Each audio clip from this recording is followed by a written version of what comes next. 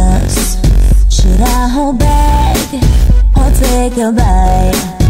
I'm not so sure it would be right.